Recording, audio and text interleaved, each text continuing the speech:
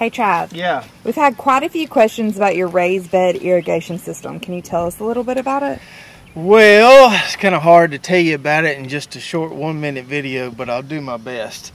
So here we have 12 or 13 raised beds. We have this half inch or 5 eighths tubing ran under the ground to feed all the beds so we can water them all at one time. And then at each bed, that tubing comes up from the ground to the top of each bed. And right here, we have a little valve. We can turn each bed on or off. And then at the top of the bed, we can do a variety of things with drip tape, drip tubing, all kind of different setups. We have several videos on our YouTube channel showing how we set this up. We also have some blogs on our website at lazydogfarm.com. Check that out.